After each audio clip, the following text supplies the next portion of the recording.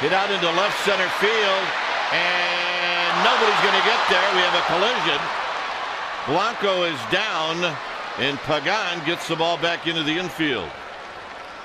And Blanco's hurt.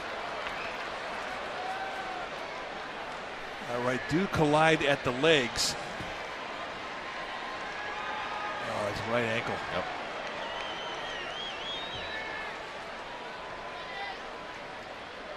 See, Blanco does try to avoid, but Maybe right knee.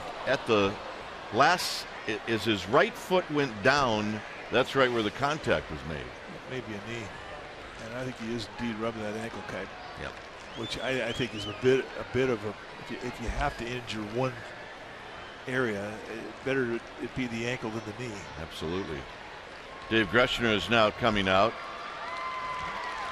And uh, Blanco will get some assistance. This is a long walk right now. Well, they need to have some assistance out there.